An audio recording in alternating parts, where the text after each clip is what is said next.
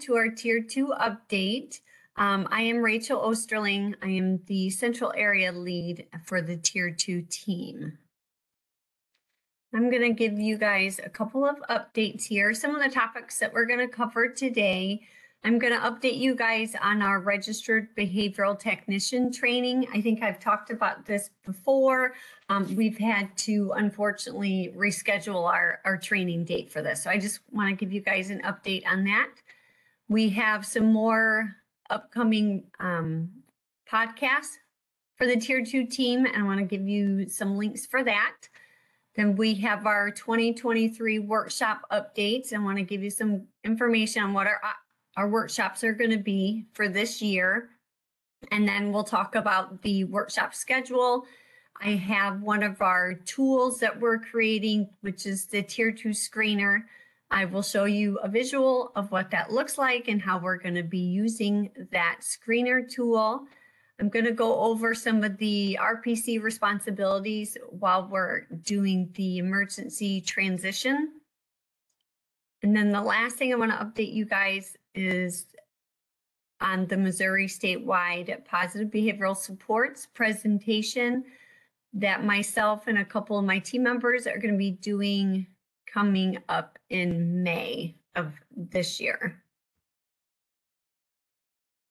All right, the first thing that we're going to go over is the registered behavioral technician competency check.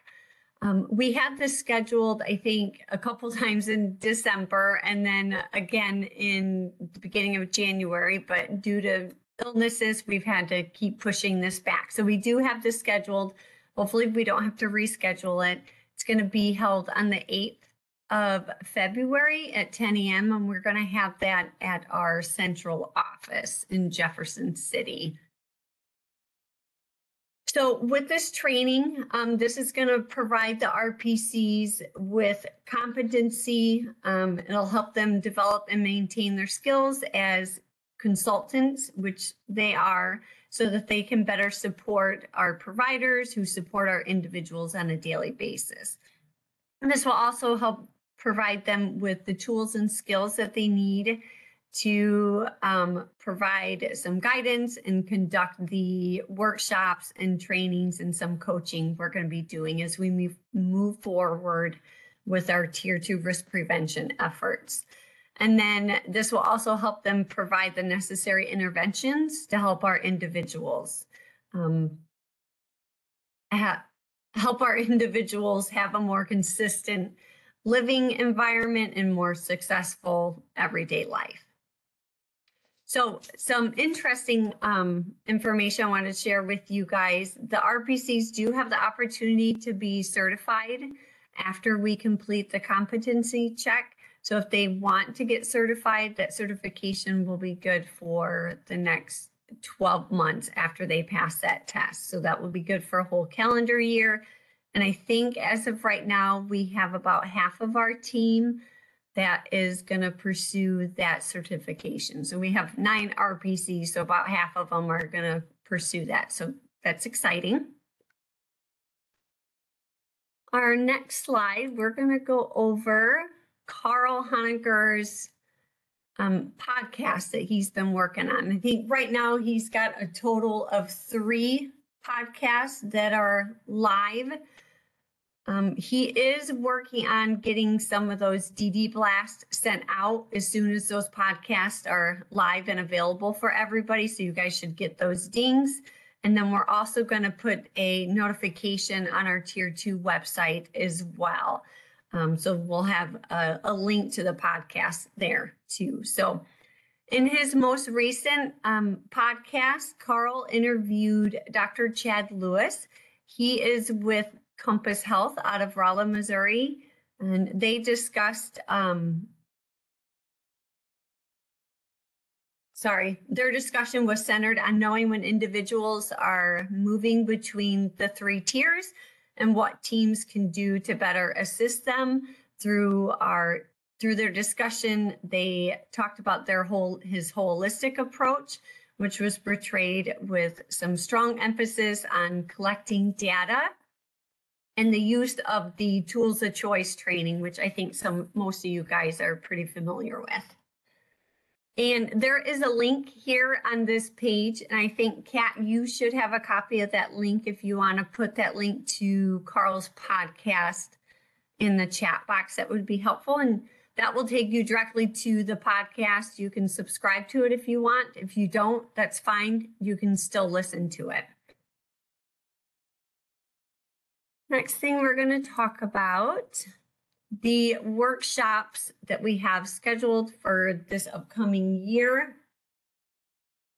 So these workshops are actually going to start in March. We were hoping we could get them um, started in February, but we had to push that back just a little bit. So our lead, our state lead for the tier two team, Ree Evans, she is working on getting the schedule set up right now. Um, once she has this completed, she's going to add that schedule to our website. So it's going to be very similar as last year. You just go to the tier two website, click on the workshops, and that will direct you direct you to the Eventbrite website, and that's where you will actually register. Um, and I think, Kat, you also have the link to the tier two website if you want to put that in the chat as well. Um, some additional workshop updates. Unfortunately, we're not going to have the transition training workshop on that schedule for this year. But if you feel that your um, TCM agency is in need of this transition um, training, please reach out to us and we can offer that to you guys. We're just not going to have that on the schedule. Um, you can just send us an email to the tier two at dmh.mo.gov if you want to request this training.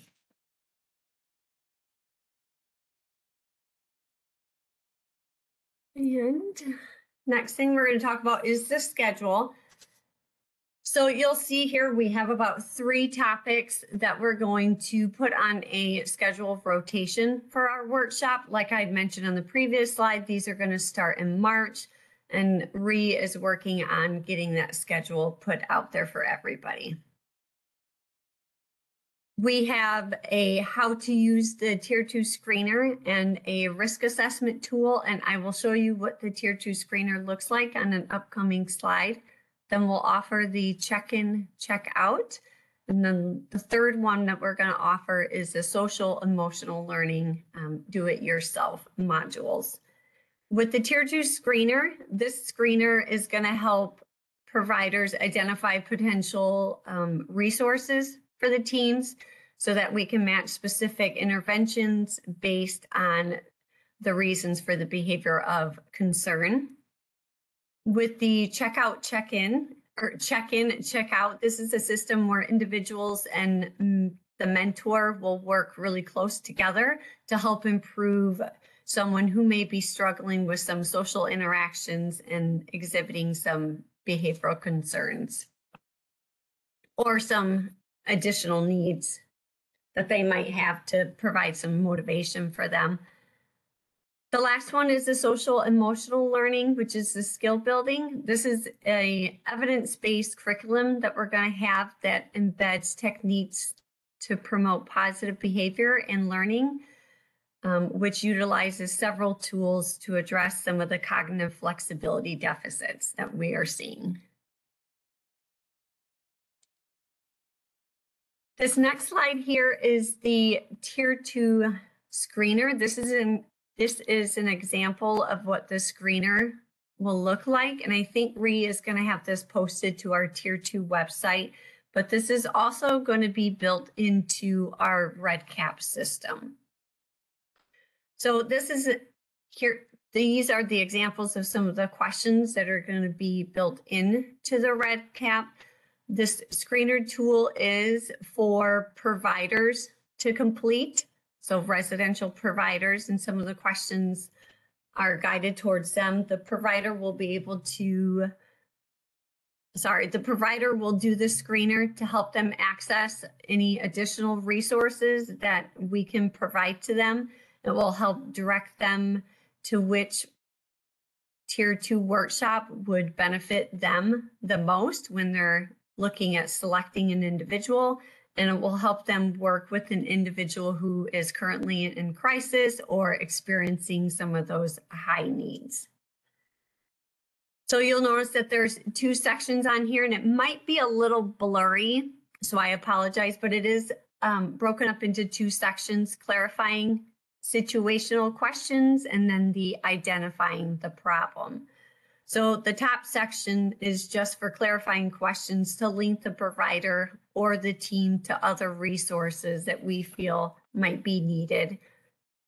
Um, the bottom section has more detailed questions, which will drive more specific resources and workshops for that provider agency.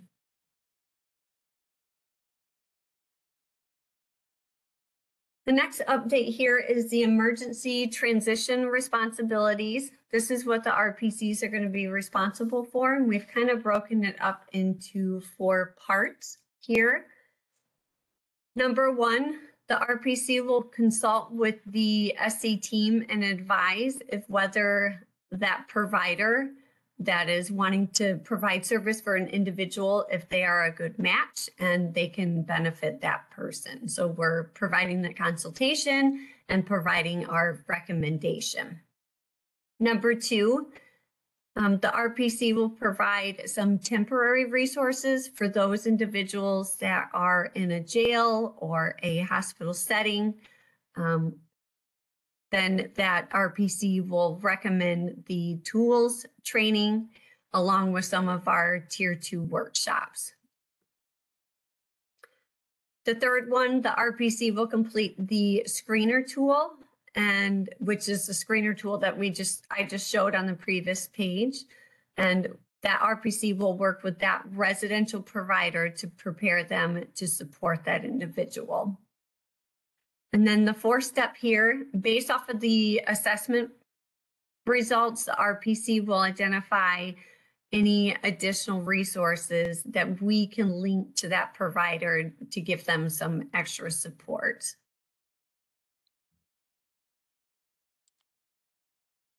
And the next update I wanted to give here is the Missouri Statewide Positive Behavioral Supports Summit. They have a summit at the end of the school year um, in May. I think it's the last couple days of May and the first day of June.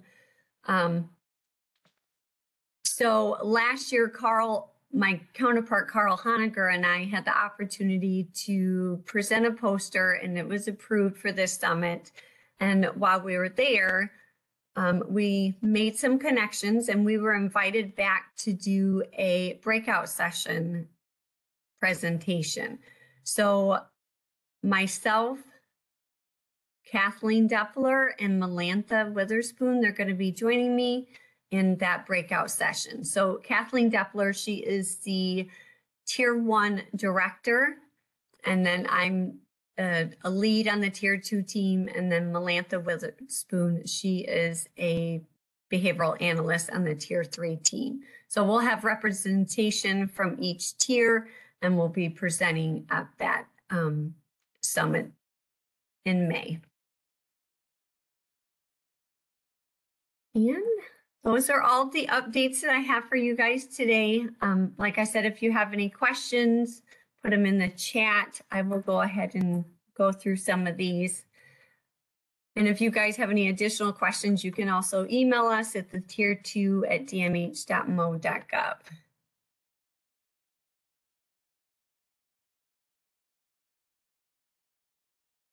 I'm going to scan through here because I think there might be some questions in here real quick.